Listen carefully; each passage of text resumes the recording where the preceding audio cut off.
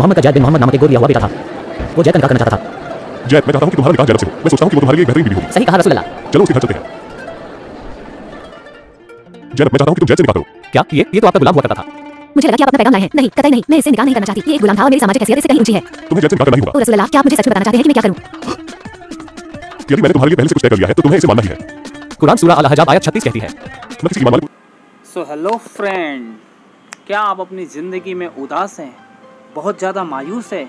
आपकी गर्लफ्रेंड आपको छोड़ के चली गई है और आपके पास खुश रहने का कोई तरीका नहीं है। तो आपका दोस्त और आपका होश आपके लिए लेके आया बहुत ही कमाल का वीडियो।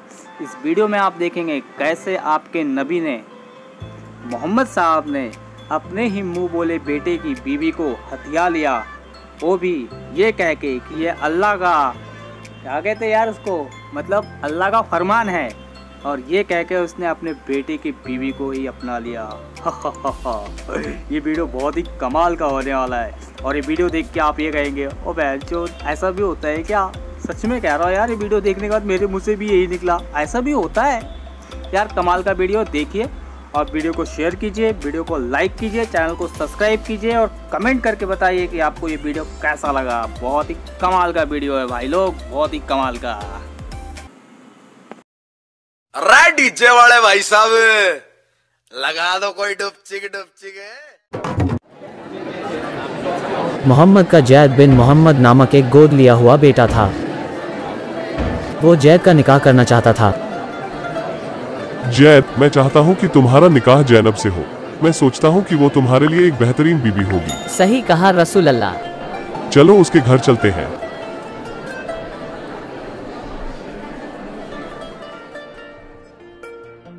जैनब मैं चाहता हूँ कि तुम जैद से निकाह करो।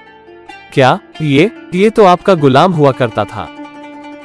मुझे लगा कि आप अपना पैगाम लाए हैं। नहीं कतई नहीं। मैं इससे निकाह नहीं करना चाहती। ये एक गुलाम था और मेरी सामाजिक हैसियत इससे कहीं ऊँची है।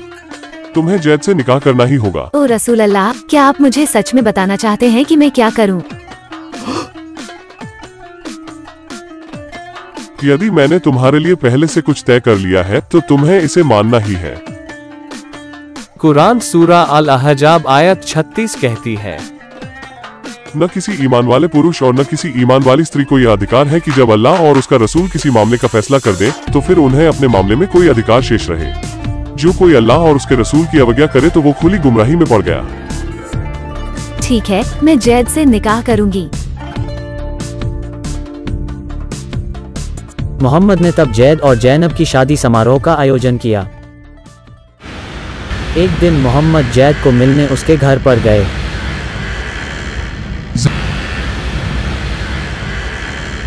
जैद क्या तुम घर पर हो?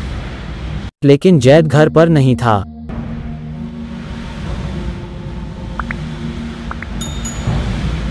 तभी हवा ने पर्दे को उड़ाकर एक ओर कर दिया। नबी मोहम्मद ने जैनब को अपने कक्ष में नग्न खड़े देखा।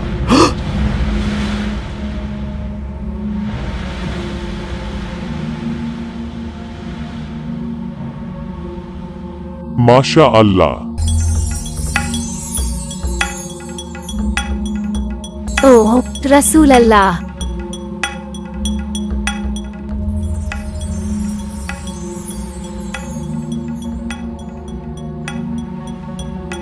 जैनब ने जल्दी जल्दी अपने कपड़े पहने तब वो मोहम्मद से मिलने बाहर आई।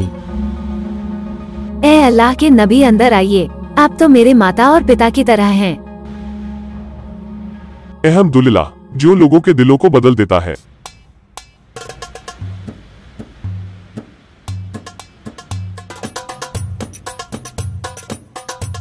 अल तबरी का इतिहास वॉल्यूम 8 पृष्ठ चार स्पष्ट करता है कि मोहम्मद ने अपनी पुत्र वधु को नग्न देखा। जैनब अपने कक्ष में निर्वस्त्र थी और उसकी तारीफ़ नबी के दिल में प्रवेश कर गई। अपनी नग्न पुत्र वधु को देखकर नबी को उससे प्यार हो गया। कुरान सूरा अल अहजाब आयत 36 की तफसीर अल जलालैन के अनुसार ऐसे मौके पर उस नबी ने उसको देखा और उसके लिए प्यार को महसूस किया। जब जैद वापस घर आया तो जैनब ने नबी मोहम्मद के आने के बारे में बताया। आपके पिता यहाँ आए थे जब आप घर पर नहीं थे। इसके बदले वे मुझसे मिले। ओह तो तब क्या हुआ? कुछ नहीं हुआ। जब उनको पता चला कि आप यहाँ नहीं हैं, वे चले गए। अच्छा। ओह जाने से पहले उन्होंने कहा अहमदुल्लाह जो लोगों के दिलों को बदल देता है। इसका क्या मतलब है? मुझे नहीं पता। जैद नबी मोहम्मद के साथ बचपन से रहा था और निश्चित तौर पर अपने पिता के व्यक्तित्व और चरित्र के बारे में बहुत अच्छी तरह से जानता था।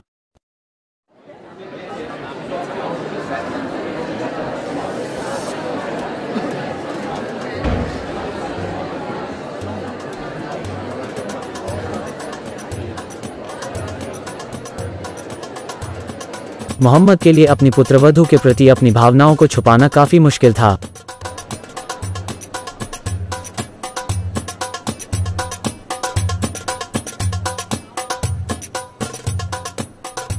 जब जैद को अपने मोहबोले पिता का उसकी पत्नी के प्रति बर्ताव का पता चला तो उसको यह जानकर काफ़ी बुरा लगा। इनको देखो मैं कह सकता हूँ कि इनके बीच में कुछ चल रहा है। ये तो साफ़ है। ये सही है क्या? गंध फैला रखा है? जैद के लिए हालात खराब होने लगे जब अल्लाह ने उसे दंड दिया जब भी वो अपनी पत्नी से संबंध बनाने की कोशिश करता।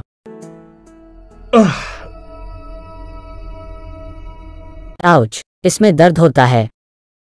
मेरे गुप्तांग में बहुत बुरी तरह से सूजन आ गई है। इसमें दर्द होता है।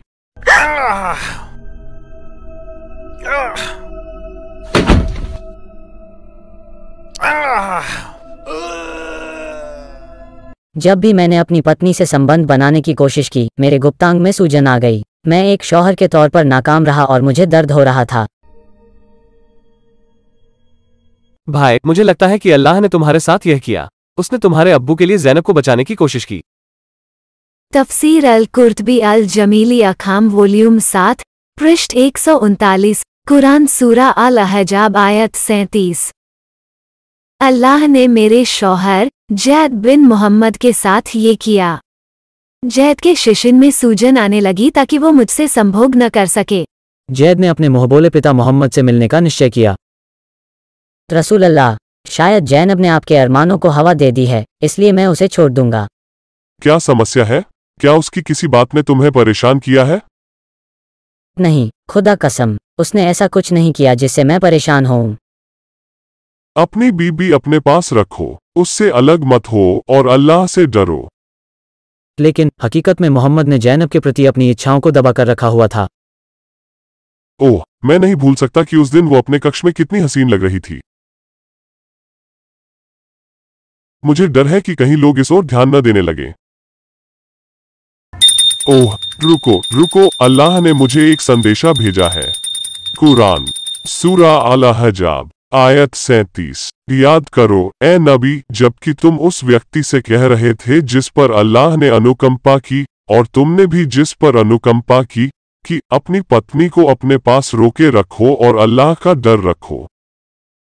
और तुम अपने जी में उस बात को छुपा रहे हो जिसको अल्लाह प्रकट करने वाला है। उसके बाद मोहम्मद ने जैद को फिर नहीं रोका।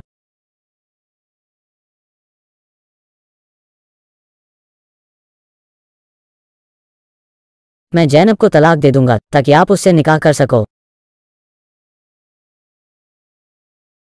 जैसी तुम्हारी इच्छा। निश्चय ही ऐसे गैर बाजिब प्रस्ताव से एक इज्जतदार आदमी स्वयं को बेइज्जत महसूस करेगा। लेकिन ऐसा लगता है कि नबी के खुद के नैतिक मापदंड थे। लोगों ने मोहम्मद के जैनब से निकाह करने की योजना के बारे में गुफ्तगु करना शुरू कर दिया। ऐसा कैसे? वो अपनी पुत्र वधु से निकाह कर सकता है? कुरान अल सूरा अहजाब आयत 36 में अल्लाह ने जैनब को जैद से निकाह करने को मजबूर कर दिया। लेकिन अगली ही आयत में उसने मुहम्मद का निकाह जैनब से कर दिया। ऐसा क्यों है कि कुछ और करने से ज़्यादा अल्लाह मोहम्मद की यौन इच्छाओं को पूरा करने में चिंतित रहता है? अल्लाह ने मुझे जैनब से निकाह करने की इजाज़त दी है, क्योंकि जैद मेरा सगा बेटा नहीं है। अतः जब जैद को उसकी कोई ज़रूरत नहीं रह गई थी हमने उसका निकाह तुम्हारे साथ कर दिया ताकि ईमान वालों को अपने मुँह बोले बेटों की बीबियों से संबंध बनाने में कोई असहजता न हो जबकि उन्हें उनकी कोई ज़रूरत न रह जाए और हमेशा अल्लाह का ही हुक्म बजाया जाता है। कुरान सूरा अलहजाब आयत सैंतीस से मोहम्मद ने गोद लेने पर प्रतिबंध लगा दिया। अब हम अनाथों को गोद नहीं ले सकते। इस धरती पर खुदा कैसे गोद लेने की नेक प्रथा को खत्म कर देगा? यह बताने के लिए कि जैद उसका सगा बेटा नहीं है और उसके लिए अपनी पुत्रवधु से निकाह जायज़ है। वाह बहाना तो अपराध से भी बदतर है। कौन होगा जो नबी की नैतिक मिसाल का अनुसरण करना चाहेगा? अपनी पुत्रवधु के प्रति गलत इच्छाओं को पनपने देना। क्या हम अपने बच्चों के लिए सखीना मावादा और रामा निकाह नहीं चाहते? यह रसूलुल्लाह के कई विशेषाधिकारों में से एक है आपके लिए नहीं बल्कि केवल नबी के लिए। तफसीर अल कुर्तुबी कुरान सूरा अल अजाब आयत पचास। अगर पैगंबर मोहम्मद एक औरत पर दृष्टिपात करता है और उसे पाने की चाह रखता है तो उसके पति के लिए उसे तलाक देना ज़रूरी है ताकि वह उसे निकाह कर सके। यह अल्लाह की ओर से उसका अधिकार है।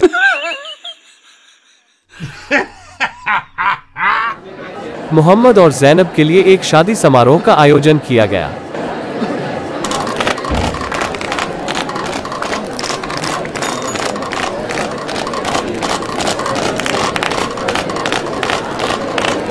सिवाय जैद के हर कोई खुश था। मैंने अपनी प्यारी बीबी को खो दिया। इससे ज़्यादा और क्या होगा कि मैं अब नबी का गोद लिया बेटा नहीं हूँ।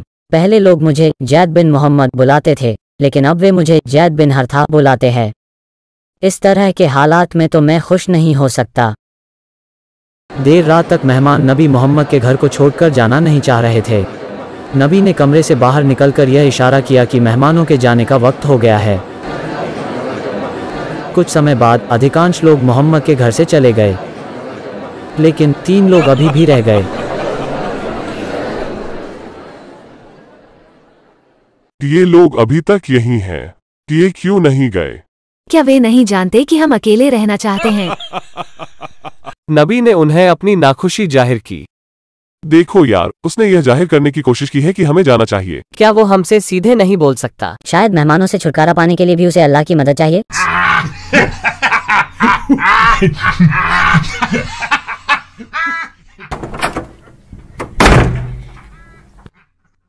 अंत में, मुझे क्या करना होगा? उन्हें जाने के लिए कहना होगा। लोगों में कोई तमीज नहीं है। ये रही आयत ऐसे मेहमानों से छुटकारा पाने के लिए, जो बहुत देर तक तुम्हारे घर में रुके रहते हैं। कुरान, सूरा अल अहजाब आयत तिरपन, ए ईमान लाने वालों।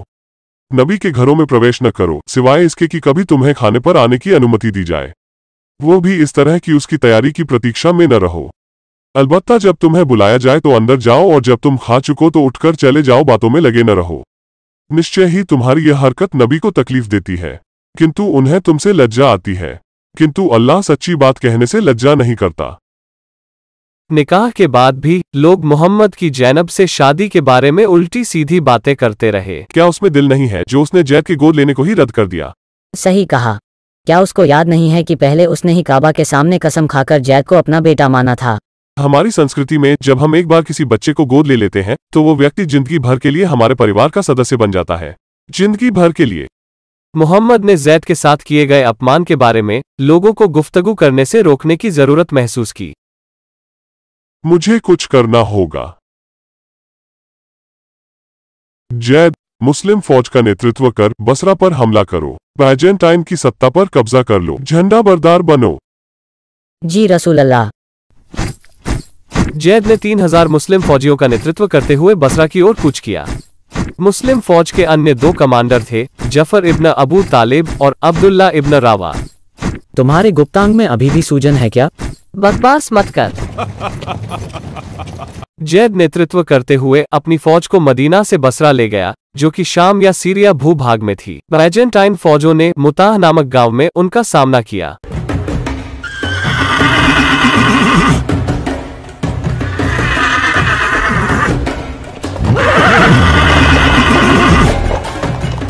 ओह, ये तो पहले से ही हमारी ताक में बैठे हैं। भागो भागो।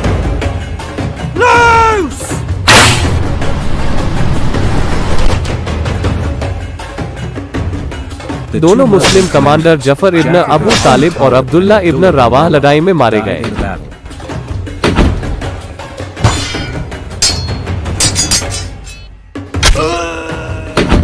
पहले मोहम्मद के हुक्म से जैद कुरैश व्यापारियों पर हमला और लूटमार का काम किया करता था जो कि आसान शिकार थे।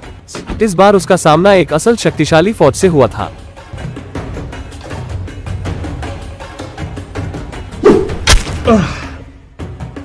अंततः जैद मारा गया। आइए, नबी मोहम्मद और जैनब की प्रेम कहानी की तुलना किंग डेविड के साथ हुई घटना से करते हैं, जो कि बाइबल, द्वितीय सैमुअल, चैप्टर 11 और 12 में लिखी हुई है। जिस प्रकार नबी मोहम्मद जैनब को पाने के लिए लालायत थे, किंग डेविड भी बादशिबा के लिए जुनून शुदा था, जो कि एक उराए नामक इसराइली सैनिक की बीबी थी। किंग डेविड ने तब को रास्ते से हटा दिया ताकि वो बादशिबा से शादी कर सके। बाइबल का असल खुदा यहवे अपनी पवित्रता से साथ डेविड या किसी अन्य के पापों के लिए कोई समझौता नहीं करता, जबकि डेविड उसका खुद का चुना हुआ किंग था।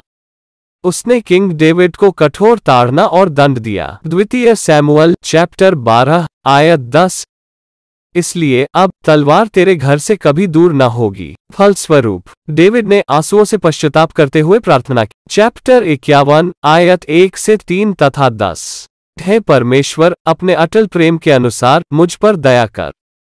याहवे ने अन्य पुरुष की पत्नी के लिए यौन लोलुप्त इच्छाओं की निंदा की। मैथ्यू चैप्टर पाँच, आयत सत्ताईस और अट्ठाईस। एक सोरसठ चैप्टर बीस, आयत सत्रह अपने पड़ोसी की पत्नी का लालच न करना। दूसरी ओर, कुरान के खुदा अल्लाह सुबहानहु वत आला ने मोहम्मद को कभी दंडित नहीं किया, भले ही वो कितना पापपूर्ण कृत्य था।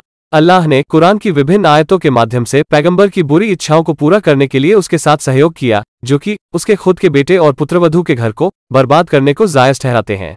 कुरान, सूरा अल अहजाब आयत सैंतीस और अड़तीस अल सिरा अल हलाबिया वॉल्यूम तीन पृष्ठ तीन सौ सतहत्तर। यदि मोहम्मद किसी शादीशुदा औरत के लिए लालायत होता तो उसके शौहर के लिए यह लाजमी होता कि उसे मोहम्मद की खातिर तलाक दे। तब्री वॉल्यूम नौ, पृष्ठ एक सौ चौतीस। मोहम्मद ने जैनब को हथिया लिया, लेकिन अल्लाह को इस रिश्ते में कोई खराबी नज़र नहीं आई, और उसने शादी का हुक्म दिया। अल्लाह तो मर्दों के दिलों में जिना की लालसा को ज़ाहिर करने का भी दावा करता है। सही मुस्लिम, किताब नंबर तैतीस, हदीथ नंबर छह हज़ार चार सौ बाईस। अल्लाह ने जिना के उस हिस्से को तय कर दिया, जिसमें एक मर्द लिप्त होगा। इससे कोई बच नहीं सकता। मोहम्मद और जैनब के निकाह के कुछ समय बाद अल्लाह ने गोद लेने की प्रथा को पूरी तरह से खत्म कर दिया। कुरान, सूरा अल अहजाब आयत चार और पाँच के अनुसार, यह स्पष्ट है कि गोद लेने के नेक नैतिक कार्य को खत्म करने का कारण मोहम्मद को उसके सहाबा के इल्ज़ाम से बचाना है। कुछ मुसलमानों का तर्क है कि गोद लिए बच्चे सगे बच्चे नहीं हैं। इसलिए पैगंबर मोहम्मद अपने गोद लिए बेटे की पत्नी से शादी कर सकते हैं। यह एक कमज़ोर बहाना है, क्योंकि कानूनी और नैतिक रूप से उसे तब भी एक सभ्य संसार में बेटा माना जाता था। क्या मोहम्मद ने काबा के सामने कुरैश के लोगों के समक्ष कसम नहीं ली थी कि जैद उसका अपना बेटा बन गया है? गवाही दो, तुम सब जो हाजिर हो। जैद मेरा पुत्र है, मैं उसका वारिस होऊँगा और वह मेरा होगा। कुरान सूरा अल अहजाब आयत 21 में मोहम्मद ने बेहतरीन अखलाकी नमूना होने का दावा किया है। निसंदेह तुम्हारे लिए अल्लाह के रसूल में एक उत्तम आदर्श है, अर्थात उस व्यक्ति के लिए जो अल्लाह और अंतिम दिन की आशा रखता हो और अल्लाह को अधिक याद करे। क्या यहाँ कोई भी समझदार मोमिन है जो अपने ही बेटे की बीबी से शादी करने में पैगंबर के नमूने का अनुसरण करना चाहेगा?